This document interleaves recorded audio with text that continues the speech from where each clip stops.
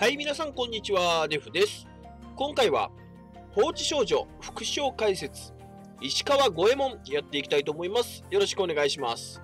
はい、ということで、えー今回のアップデートでですね、えーやってまいりました UR 戦石川五右衛門ですね。早速見ていきましょう。まあ、今回が、まあ、初版ということで、まあ、石川五右衛門ね、UR からの UR 戦、まだこの後 MR があるってところなんですけど、まあ、UR 戦もね、えー見ていきましょう。まずは初めてなんで、人物紹介から。早起きして、2人分の朝食を買ってきた石川五右衛門。自分のこの優しさに感動し、あの人もきっと褒めてくれるだろうとウキウキしながら家のドアを開けると、キッチンで朝食を作っているあの人の姿が目に入った。ちょ、ちょうどいいわ。ミルクとパンはまだ熱いよということで、このセリフ部分僕全然理解できないんですけど、これどういう状況かわかる方は教えていただけると嬉しいですね。これミルクとパンはあれなのかな？買ってきて、買ってきたのかな？もしかしたら石川五右衛門がね、そういう意味合いなのかな？ちょっとこのシチュエーションがね、僕はいまいち、え理解できない、えところになっております。えそして石川五右衛門ですね、ただいまアバとなってて、僕結構ただいまアバ、うん、いいなと思うんですよね。前回の子と今回の子ですね。えーそして、え武将で、え和の陣営となっていますと。そして専属武器、新鋭セットだけ見ていきましょう。石川五右衛門専属ステータス。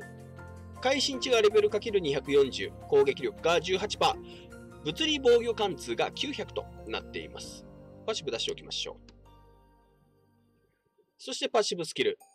攻撃力が44%、筋力値がレベル ×240、最大 HP が44%、体力値がレベル ×180、防御貫通がレベル ×10、防御力がレベル ×260 となっています。ということで、え見ていくと、まあ、まずは、まあ、筋力値ですね。まあ、ステータスのところはしっかりあります。えそして防御力と体力値ということで、まあ、防御面ね、まあ、武将の中では硬い方かなと。HP も、まあまあまあまあ、180ですけど、レベルかける180ですけど、まあ、漏れるだけありかなというところですね。あとは貫通が2個あります。防御貫通の方がレベルかける10。あと、会心値だけになっているんで、まあ、クリティカルがね、えー生きるような形なのであれば、物理会心ダメージの方も欲しかったなというところかな。まあ、これ MR になった時に何がもらえるかっていうところになってくるんですが、まあ、クリティカル、まあ、会心で生きてくるのであれば、もちろん会心ダメージですよね。まあ、そこが欲しいなと。まあ、ただ、まあ、筋力値はもうすでにあってですね、防御貫通、物理防御貫通がすでにあるので、まあまあ、これは特殊パッシブワンチャンあるんじゃないかっていうラインナップですね。まあ、もしくは、えー、会心値があるので、物理会心ダメージ、えっと、もう一個何か、まあ、状態状態性だとか、状態状態性無視だとか、まあ、アクティブスキルに合ったパッシブが増えてくるか、まあ、これどっちかになるんじゃないかなと思います。うん。まあ、ただワンチャン特殊パッシブ、これはあるような、今のラインナップですね。ということで、アクティブスキル見ていきましょう。有益状態数が最も多い敵に1000%の物理ダメージを与える。攻撃前、敵が有益状態の場合、100%の確率で有益状態を全て解除し、自身に付与。同種類の状態は重ね掛け不可。敵が有益状態でない場合、ダメージが倍になる。すべての攻撃後、4ターンの間、味方4名を、これなんて読めばいいんだろうね、初なぎ状態にさせる。初なぎ状態にさせる。ということで、新しいえバフがえ来ております。えっ、と、今回は生後バフではなく、普通の、えーバフですね。普通の有益状態。こちらになります。えー自身の筋力値によって敵の敏捷ダメージを減少。ということで、まあ、固定値の、まあ、真髄清めスキルみたいなあものとなってますね。ただ、敏捷値を今、えー軽減するものとなっていましたんで、まあ、ちょっと、ちぐはぐしてくるかなと思います。うん。やっぱり武将なんで、ここはやっぱり筋力値か攻撃力ダメージが減少欲しかったなっていう気がしますね。ということで、これが面白いのが、まず、有益状態数が最も多い敵に攻撃するっていうサーチ方法がまず面白いですね。うん、有益状態数が最も、えー多い敵に1000%の物理ダメージを与えると。まあ、1000%の単発攻撃ですね。えー、攻撃前、敵が有益状態の場合、100%の確率で有益状態を全て解除し、自身に付与。まあ、これ強奪になります。えー、同種類の状態は重ね掛け不可。敵が有益状態でない場合はダメージが倍になりますと。全ての攻撃後、4ターンの間、味方4名を、えー、初投げ状態にさせる。ということで、まあ、この新しいバフもまあ、いまいちっぽいですし、まあ、結局固定の真髄共鳴スキル、しかも有益状態なので消されてしまうというところで、まあ、ちょっといまいちなのと、単発攻撃っていうところですね。まあ、これが非常に痛いかな。まあ、その代わり単発攻撃であるがゆえに状態異常ですね。これは全て解除できますと。いうところかな。で、自分に付与できるというとところで強奪ですね。まあ、なので、これうまくいけば、まあ、もちろんね、優秀なバフ全部強奪できれば最高ですけど、まあ、それも状況によりけり、そんな状況はなかなかないですからね。えー、そもそも今、対人でバフを使うことがうん、有益状態を使うことが結構減ってきてしまっているので、まあ、一番多いのが援護とかになってくるのかな。うん、今、攻撃力アップバフとか、まあ、その辺は結構減ってきてはいるので、暴走とか取ってね、とかでもいいんですけど、うん、やっぱり防御系バフが多い気がするんで、まあ、その防御系バフを、まあ、しっかりいいのを取れればっていうところかな。うん、取れなければちょっときついですね。単発攻撃なんでね。で、特殊パッシブもないですし、というところで、うん、なかなかちょっとしんどいスキル1になってるかなと思います。そしてスキル2番目。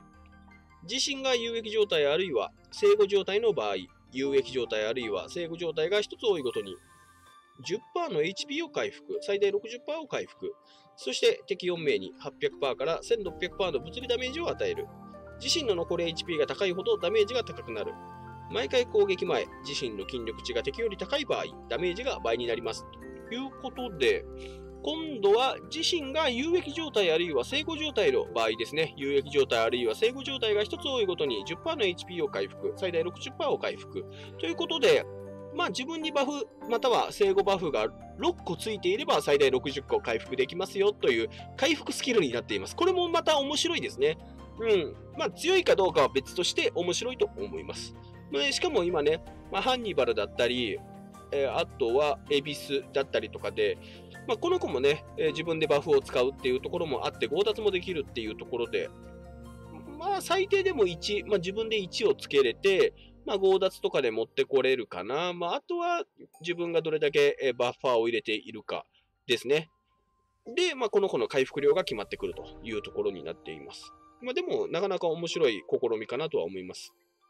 そして敵4名に800%から1600%の物理ダメージを与える範囲攻撃ですね。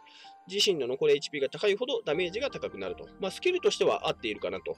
えー、まず HP 回復が入ってからですね、攻撃して、自分の残り HP が高いほどダメージが高くなる範囲攻撃なので、うん、まあ、スキルとしては噛み合ってるかなと思います。そして毎回攻撃前、自身の筋力値が敵より高い場合、ダメージが倍になりますよということで、まあ、筋力値参照の条件がありますが、まあ、レベル ×240 なんでそこまで高いわけではないと。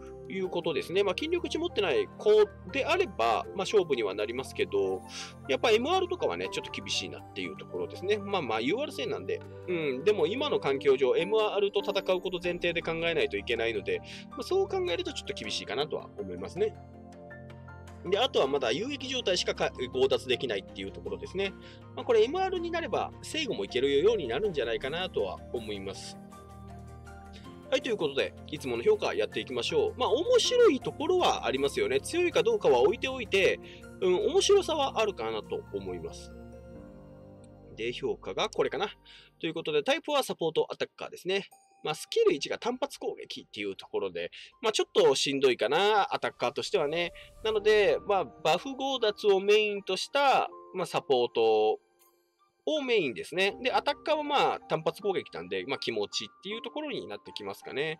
うん、まあ、あとは、ちょっとちぐはぐですけど、バフも使うっていうところで、真髄共鳴スキルっぽいバフですよね。で、敏捷がね、えー、敏捷ダメージ、敏捷防御無視ダメージを軽減してくれるっていう感じなので、まあ、弓ですよね。弓相手にした時に役立つようなバフになっています。まあ、この子の場合は別に、えー、この効果がどうこうよりも、バフがかかっていることが石川五右衛門自体では大事になってくるんで、スキル2でね。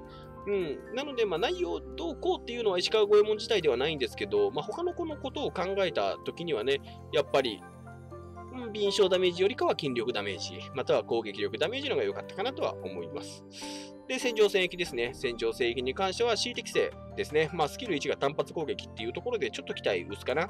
ただ、スキル2が面白くて、うん、まず800%から1600%の物理ダメージで範囲攻撃ですよね。えー、そして、残り HP が高いほどダメージが高くなるんで、基本的には1600%が取れますよと。えー、そして、筋力値が適用より高い場合はダメージが倍になるんで、3200%取れますよっていうことなんで、これ、命中値または必中であれば、結構戦場性域適性あったような気がします。ただど、まあ、どっちもないんで、結局なところは適性ないんですけど、惜しいですよね。うん、いい感じに火力出ていたのに、命中値がない、または必中ではないっていうところで、まあ、ここはだいぶ評価が落ちます。ということで、戦場戦役 C 適正になっています。そしてボスですね。ボスに関してもスキル1が1000%でダメージが倍か。で、2000%。で、スキル2が1600%が取れるでしょう。えで、ダメージが倍になるという形で、えー、ダメージが倍なんで3200%、合わせて5200%か。あだとしたら、まあちょっと低いかな。やっぱ今2万パーとか出す子もいますし、UR 線の中でも1万5000パーぐらいは出してくる子いますしね。って考えると、まあちょっと5000パーちょいだと厳しいかなと。うん、まあまあ、そもそも単発攻撃と、えー、範囲攻撃なんで、相性が悪いですね。ボスとはね。で、次、対人。うん、対人に関しても、まあ、メインはやっぱりバフ消しになってきてしまう。バフ強奪かなバフ強奪になってきてしまいますかね。えできれば援護を奪って相手をもう一人道連れにできたらなぐらいな気持ち。ただ安定性は非常に欠けます。えなので、まあそう考えるのであれば、うん、やっぱ闘技場も、お城の攻めなんかもっと厳しいですよね。石川越えも戦闘なんかにした暁には、えー、簡単に取りこぼして反撃で落ちてしまうっていう形なんで抜けないですよね。防衛も厳しいっていうところなんで、対人も今のところは C 適正になってきてしまうのかなと。まあ、ただ、上杉とか狙い撃ちできれば一番面白いですよね。上杉、挑発の上に援護も自分でつけるんで、バフの数が、うん、自分で結構増えるんですよね。やっぱそこ狙い撃ちできたら面白いなとは思いますし、MR になったらね、ハンニバル狙い撃ちとかできるようになれば、まあ面白いのかなと思いますけどね。うん、ハンニバルも自分でバフいっぱいつけるんで、生後バフね。いっぱいつけるんで、生後バフ奪えるようになるのであれば、石川越もピンポイントでそこ狙っていく形もね、なかなか面白いのかなと思います。が、現状はね、まあ、対人適性は C です。えそして短期特化度。短期特化度に関しても C ですね。まあ、これは致し方ない、えー、武将であるかどうか。武将ではあります。戦場戦役。ボスに適正あるかどうか適正はありません。コスパ面はどうか。まあ、普通の UR 戦と同じだけコスパがかかりますよと。原稿かかりますよってことなんで、まあ、この評価であれば、まあ、別に今石川越えも狙う必要はないかなと思います。ただ MR 来てね、急に化けることもあるんで、えで、化けてから取り始めるとちょっと遅いんで、ってなると、まあ先買いしとくのもまあありではありですけど、これ見て将来的に強くなるなとはなかなか思えないんで、まあ、急に強くなるパターンしかないですよね、もうこっからは。うん、そうなると、まあ、リスクを冒してまで今取っておくよりかは、もうもう MR 来てから多少原本を多く払って取ろうかの方がいいような気もしますね。はい。ということで、今回は石川五右衛門、えこんな感じの評価になりました。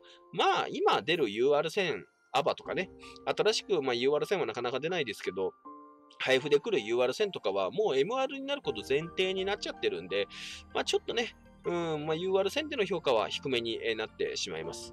はい、ということで、チャンネルの登録、Twitter のフォローなど、ぜひよろしくお願いします。ここまでお送りしたのはデフでした。おつです